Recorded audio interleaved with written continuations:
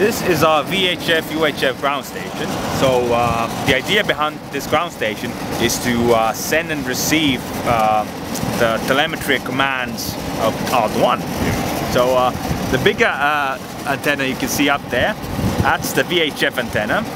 Uh, the smaller one is the UHF antenna. Normally what it does when it tracks a satellite, it basically rotates along the azimuth. So basically if north is uh, in one direction, it, it, it uh, rotates 360 degrees with respect to north and it's able to rotate in the elevation wise. So these antennas are able to go point up to 90 degrees directly into the skies. It's in essence, it's a very simple uh, antenna system, but it requires a lot of work nevertheless. So we have our main compute, ground station computer here. It's connected to the radio and synchronized so we can control the radio directly from here. You don't actually have to do uh, anything there in fact. Then we have like software that controls our rotator, there's the driver, it controls the mast upstairs. This program, when it starts hearing something, some Morse, it'll decode the Morse and uh, give some, hopefully some interesting data.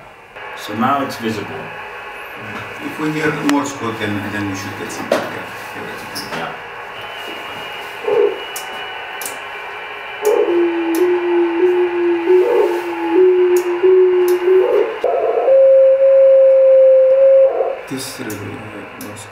Yeah.